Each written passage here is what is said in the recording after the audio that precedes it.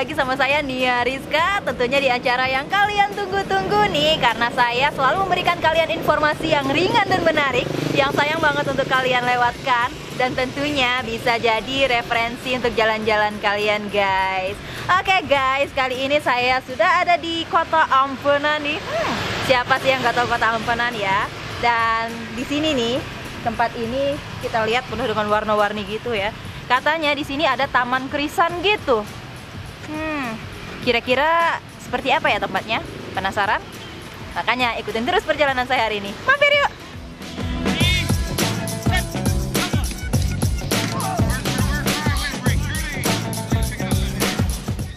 Oke, kita sudah ada di kampung wisata Krisan nih guys Dan seperti yang kita lihat nih Di sisi kiri dan kanan ada tembok rumah warga yang warna-warni gini Wih, cantik-cantik banget ya warnanya Dan guys, untuk lebih tahu tentang kampung wisata Krisan ini Saya sudah janjian nih sama Ibu Aisyah namanya Dan kebetulan Ibu Aisyah lagi ada di depan nih Kita langsung samperin aja yuk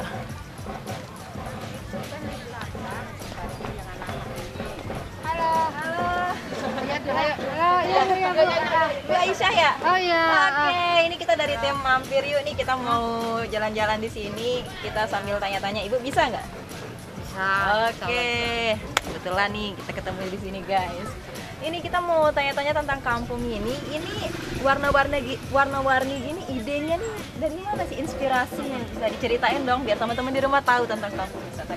Oke, eh, inspirasinya sebenarnya karena kampung ini sangat kumuh ya. Heeh, Inspirasi pertamanya kampung ini sangat kumuh, nggak punya potensi lain selain sampah. Iya. Jadi kita coba bagaimana membangkitkan gairah ya tentang kecintaan lingkungan pada masyarakat. Mungkin kita mulai dari warna-warna ya. Oke. Warna-warni yang berbeda membuat eh, yang monoton menjadi bergairah gitu. Oke. Itu saja yang kita mulai dulu. Oke, ngomong-ngomong nih kita merah-merah gini kayak janjian ya. Tapi nggak janjian ya.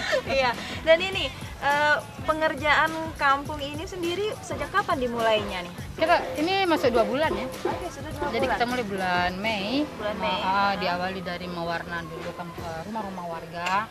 Kita retouch, itu karena hmm, berbarengan dengan bulan puasa kemarin. Ya. Jadi warga juga semangat untuk merubah kampungnya.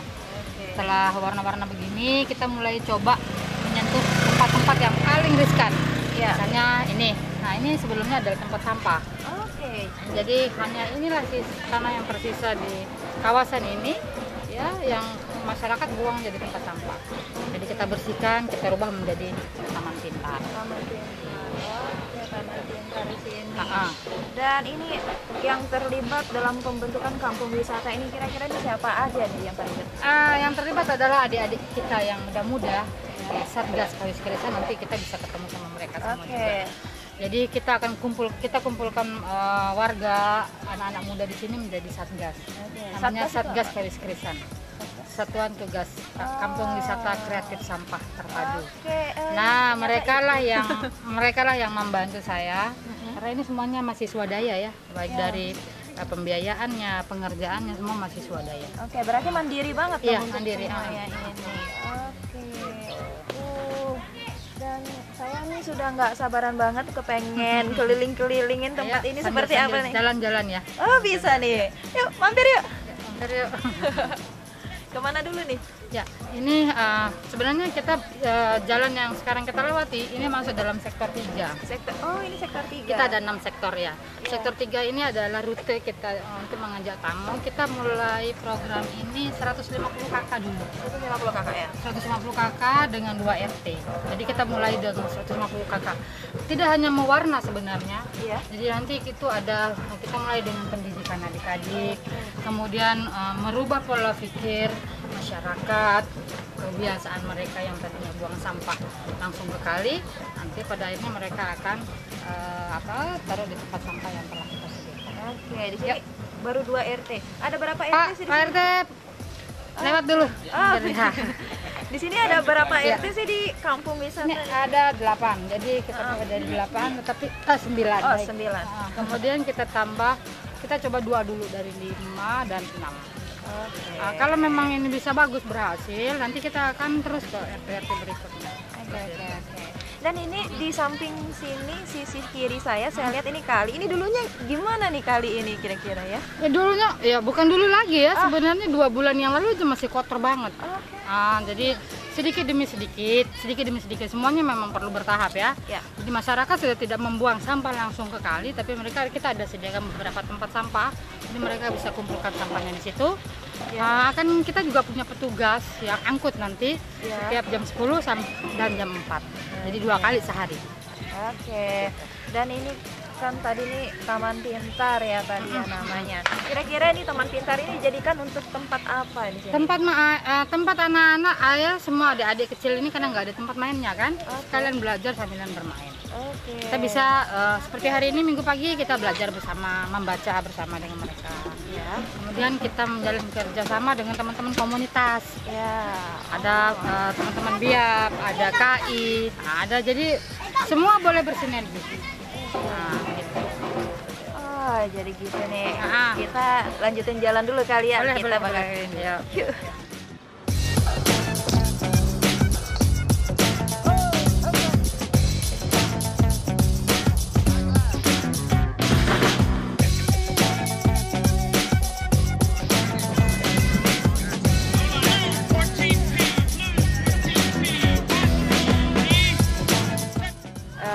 Bagaimana nih respon masyarakat di kampung wisata Pisang?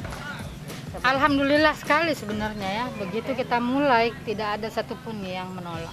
Ah, jadi jalannya mulus mulus banget aja, alhamdulillah ya. karena apa ya itu tadi mereka eh, bermanfaat kan untuk mereka kita kasih cat mereka cat sendiri rumahnya tapi untuk tempat-tempat jalan ini kita mulai dengan pemberdayaan adik-adik Oke. yang eh, membantu.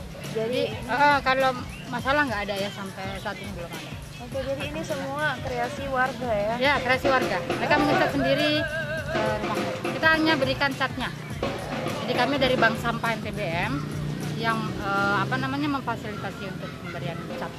Ah, Oke, oh jadi di sini benar-benar positif banget nih respon masyarakatnya benar-benar Responnya nggak- menerima. Ah, bagus sekali Ini dalam waktu dua bulan nih, dua bulan ya apa alhamdulillah cepat banget nih progresnya ya? iya Ya. saya juga eh, di luar dugaan saya sih sebenarnya Ya, ya, ya. tadinya saya bilang mau nggak ya mereka mau nggak ya ternyata jauh lebih dari yang saya bayangkan sebenarnya gitu loh. Dan kita lihat nih di depan kayaknya lagi ada asik-asik. ayo boleh kita lihat Gebuk-gebuk. kegiatan mereka memang tiap minggu sore Oh gitu. ah adik-adik kita ajak main latihan puisi jadi dari barang bekas juga Oke. karena krisan kan kampung wisata kreatif sampah terpadu Oke. kita coba apa pun yang yang dari limbah Oke. yuk lihat yuk Kita samperin ya. ya.